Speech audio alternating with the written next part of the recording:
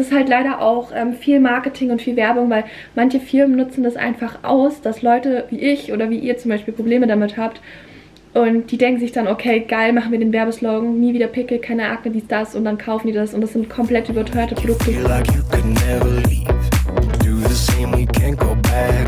Follow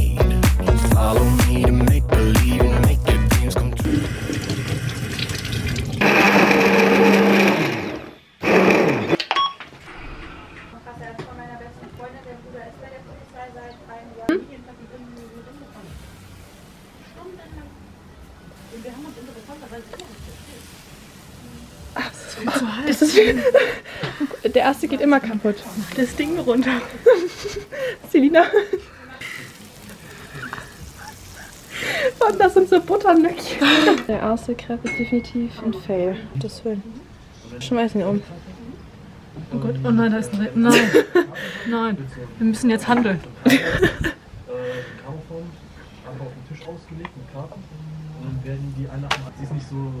Ich muss ja ganz dezent sagen, dass meiner ja schon viel besser aussieht. Das geht schon den ganzen Tag.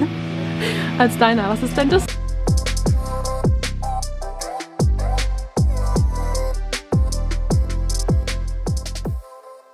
Good morning, friends. Schnelles Outfit of the day. Hoffe, euch geht's gut. Aber mein Outfit ist ganz unspektakulär heute eigentlich. Ich zeige es euch später nochmal. Wir drehen heute meinen Glow-Up. Fangen wir an zu drehen. Und dafür brauchen wir ein paar Szenen mit Sonnenaufgang, weil ich mir da so ein bisschen was in den Kopf gesetzt habe. Seht ihr auf jeden Fall. Ich freue mich sehr und ich nehme euch ein bisschen mit. Aber jetzt fahre ich erstmal los. Müssen wir uns ein bisschen beeilen. Es ist schon in 40 Minuten.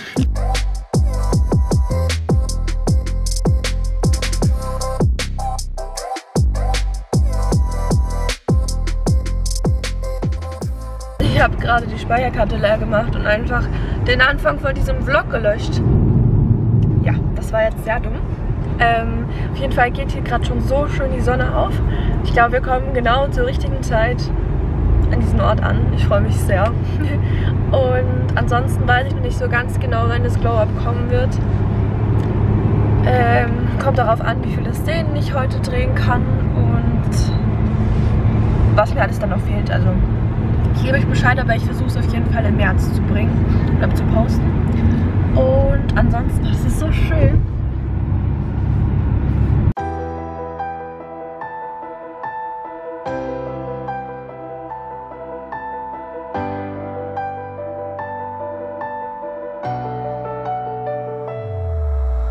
Baby, please just take it slow.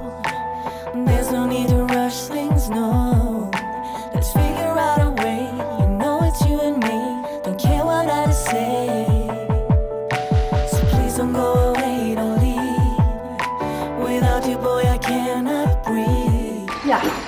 jetzt frühstücken wir erstmal. Wir haben schon einen Wurst, ein Mozzarella-Bällchen und frisch gepressten O-Saft. Oh mein Gott, ich muss meinen Kaffee retten. Stopp! So. Kaffee gibt es jetzt auch schon.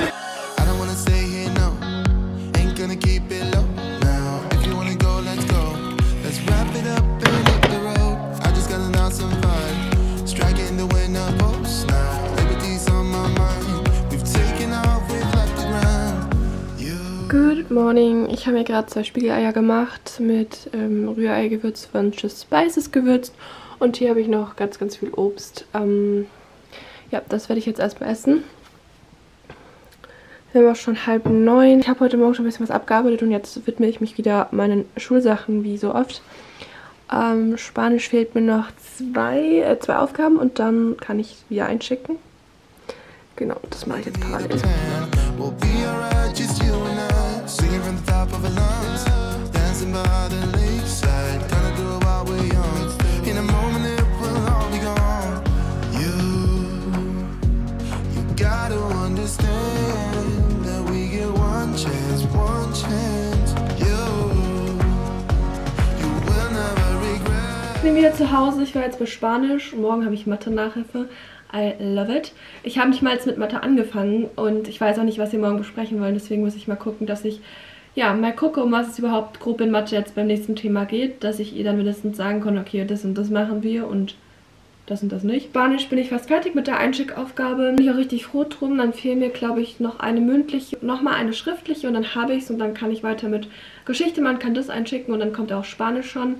Und ja, dann kommen die sechs Hefte an Mathe, die ich bewältigen muss. Letzte Woche habe ich sechs Einschickaufgaben verschickt und diese Woche ähm, rechne ich so mit zwei bis drei, weil Spanisch habe ich einfach einzeln gezählt. Also wenn ihr es als eine zählt, dann waren das da nur vier Aufgaben, die ich verschickt habe insgesamt. Ja, genau. Aber wenn ihr es halt einzeln zählt, waren es halt mehr. Meine Mom kommt heute Mittag noch zum Kaffee trinken, weil mein Balkon endlich richtig fertig ist. Und viele hatten letztes Mal nachgefragt, ob ich nochmal genau zeigen kann, was sich bei mir in der Wohnung verändert hat. Und das wollte ich euch jetzt schnell zeigen.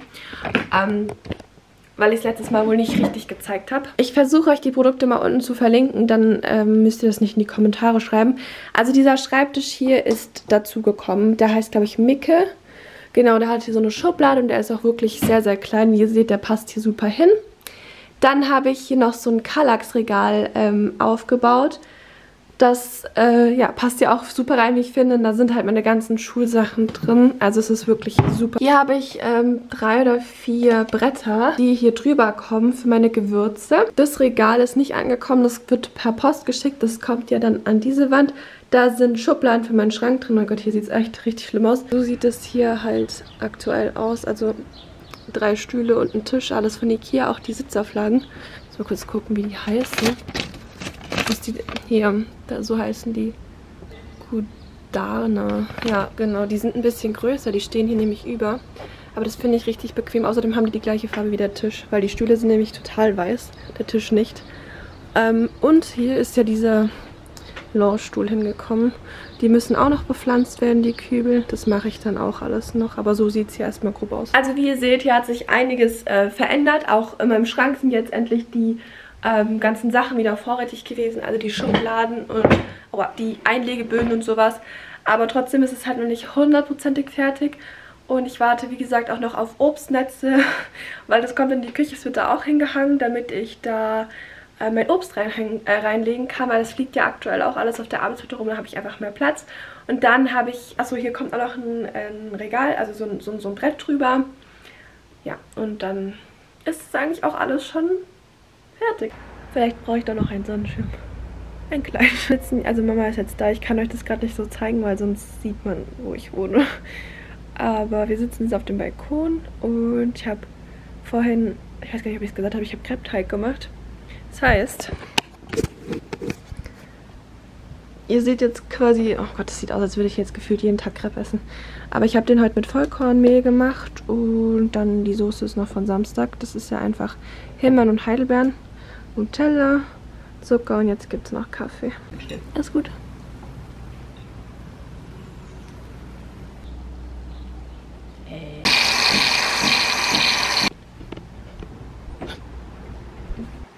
Meine Mom ist jetzt schon wieder gut fast zwei Stunden weg und ich habe jetzt noch mal ein bisschen Spanisch gemacht. Ähm, wir haben jetzt auch schon kurz nach vier und ich muss dieses Video noch schneiden. Deswegen ähm, wollte ich jetzt ein bisschen Richtung Ende gehen. Aber ich wollte nochmal mit euch quatschen. Das kommt eigentlich immer ganz gut an. Und es geht um das Thema Haut. Wie ihr vielleicht merkt, meine Haut ist besser geworden. Aber sie hat natürlich vereinzelt immer noch so Unreinheiten. Aber das ist wirklich kein Vergleich mehr zu von vor zwei Monaten durch meine Videos da an. Ich weiß nicht, ob ich es da so krass gezeigt habe weil ich persönlich finde es einfach mega unangenehm. Ich finde es auch aktuell noch unangenehm. Es ist zwar nicht so viel, man sich schämen muss, aber letztendlich fühlt man sich mit Pickeln irgendwie immer... Ich weiß nicht, ich habe immer das Gefühl, Leute denken von mir, ich, ich pflege mich nicht. Dabei hat es überhaupt nichts damit zu tun. Ich habe meine Haut jeden Tag gepflegt, ich creme die ein, ich reize die nicht mehr. Ich habe alles ausprobiert, nur mit Wasser gewaschen, keine Pflegeprodukte verwendet, nur noch teure Pflegeprodukte verwendet, keine teuren Pflegeprodukte verwendet. Naturkosmetik verwendet, keine Schminke verwendet. Ich habe alles gemacht und es wurde nicht besser. Ähm, ich, steh, ich stand, ich stehe immer noch vor einem Rätsel. Es wird besser und ich verwende halt die ganze Zeit, also jetzt schon seit zweieinhalb Wochen, diese Sanukel-Tropfen. Ich hoffe, ich spreche das jetzt richtig aus. Die gibt es in der Apotheke und es war ein lieber Tipp von einer Zuschauerin. Also vielen Dank nochmal an dich. Ähm, ich habe das Gefühl, das hilft bei mir wirklich gut. Meine Haut hat natürlich auch sechs Monate gebraucht, um sich zu verschlechtern und zwar richtig zu verschlechtern. Ich habe einfach erstmal nichts gemacht, weil ich mir dachte, das ist nur eine Phase. Ich habe also viel zu spät reagiert. Hautärzte sagen meistens auch, wenn man schon anfängt Mitesser zu sehen, dann am besten direkt schon zum Hautarzt, dann kann man das schon stoppen. Ähm, oder auch einfach mal zur Kosmetik einmal im Monat. Natürlich kann sich das auch nicht jeder leisten. Wenn ihr euch das aber leisten könnt oder lasst es euch schenken irgendwie zum Geburtstag, dann auf jeden Fall mal so ein, wo die euer Gesicht absaugen. Ich weiß gerade nicht, wie es heißt äh, Mikro, äh, ich glaube, ihr wisst, was ich meine. Das ist eine richtig effektive Behandlung. Das haben ja auch schon ein paar Leute von euch geschrieben auf Instagram, dass sie das gemacht haben und super begeistert sind. Allerdings nicht mit den Geräten für zu Hause. Ich habe da jetzt schon so viel Schlechtes drüber gehört, dass die gar nicht richtig funktionieren. Also macht es lieber beim Kosmetiker, Zeit ein bisschen mehr und äh, die machen es dann richtig professionell. Die haben ja aktuell zu. Ich hoffe, dass sie bald wieder öffnen, weil ich das meiner Haut gerne auch nochmal ähm, als Treatment geben würde. Kann es aber voll verstehen, wenn man sich dafür schämt und es einem unangenehm ist. Aber das muss es gar nicht. Aber ich struggle selber damit. Also ich möchte gar nicht irgendwelche Worte hier verwenden. An die müsste ich mich selbst ja erstmal halten. Und es ist sehr schwer, wenn man so unreine Haut hat.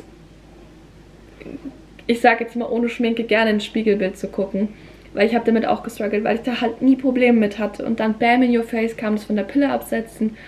Und dann gibt es natürlich auch noch Menschen, die sehen das dann und die kommentieren dann so gemeine Sachen diesbezüglich und das ist dann auch voll verletzend. Aber wir haben, also ich habe darüber gelernt zu stehen und deswegen möchte ich gerne mein, mein Wissen mit euch teilen, in der Hoffnung, dass es halt auch vor allem bei euch funktioniert. Aber dieses Mittelchen ist ein Wundermittelchen, ich schwöre drauf. Es ist auch kein Medikament, es ist rein pflanzlich.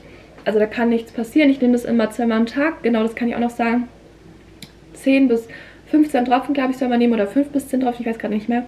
Aber ich nehme immer 10 und das mache ich morgens nach dem Aufstehen und abends zum Schlafen gehen. Immer hier 2 cm, ähm, bevor der Daumen anfängt, diese Tropfen hier auf den Handrücken geben und dann ablecken. Warum auch immer, frag mich nicht, hat mir auch diese Zuschauerin gesagt und sie meinte einfach, dass es bei ihr Wunder verbracht hat. Und ich muss wirklich sagen, dass es bei mir langsam auch funktioniert. Deswegen macht's einfach, probiert es einfach aus und schreibt mir gerne, ob es bei euch hilft. Oder vielleicht kennt ihr auch noch Hausmittel oder Tricks oder irgendwelche Produkte, die euch helfen.